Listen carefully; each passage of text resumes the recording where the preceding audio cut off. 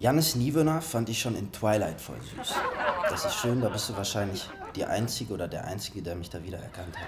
Woher kommt eigentlich dieser Max? Ist das noch so ein Ochsenknecht-Bruder? Jannis Niewöhner, ist das der Junge von der Kinderschokolade?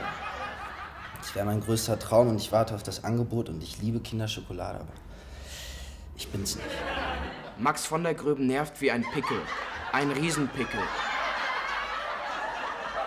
Das ist nett. Janis, ich will ein Kind von dir. Dein Tom.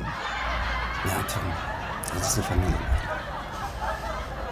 Boah, kapier nicht, was an diesem Max so sexy sein soll. Das ist voll das Opfer. Mit A. Das ist nicht richtig.